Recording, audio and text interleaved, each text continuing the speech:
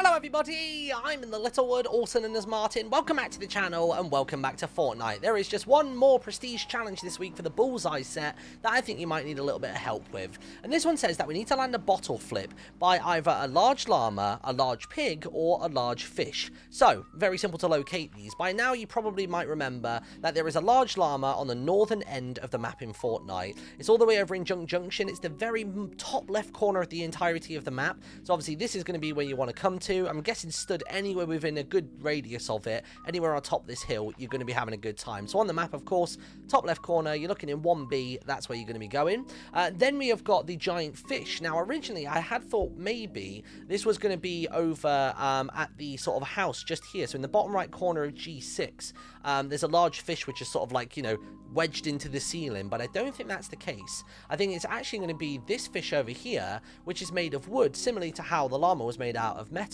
Um, and this is going to be over in the northern end of the map. So in the jungle, there is a large fish right about here. So on the map, you're basically looking uh, in around about the G2 area. So it's going to be right about there on the map It's where you want to be looking. And then the final one is the giant pig. And of course, that is all the way down in Lucky Landing. You might remember on the hill on the southern end, there is basically a massive pig, which is made out of brick. Uh, and luckily we... Oh, the rocket's there now.